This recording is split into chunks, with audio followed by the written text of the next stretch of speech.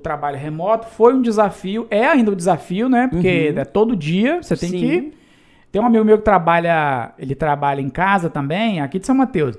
E ele pega o uniforme, veste. É mesmo? É. Mesmo sendo home office? Isso, aí ele, aí ele vai lá tomar banho, Que toma legal, café, cara. to- toma banho, veste a camisa Ai, ai, ai. e tranca a porta. Aham. Porque é como se. Que é, legal. aí o pessoal de RH fala que isso, isso funciona. É um gatilho. Sim, é um gatilho mental. Porque aí o seu né, cérebro que fala assim, não, agora Acionou. vou Ó, trabalhar. Trabalhar.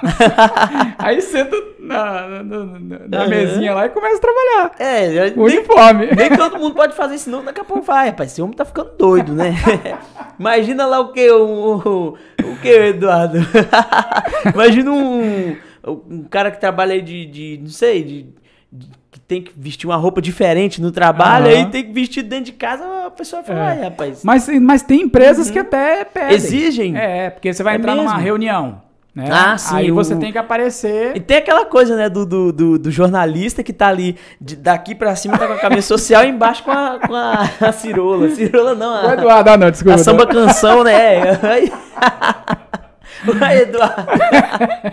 pois é, é, é, mas essas, todas essas é, é, readaptações são inerentes a essa, essa condição, essa nova, esse novo condicionamento do mercado que é Sim. do pós-pandemia, né?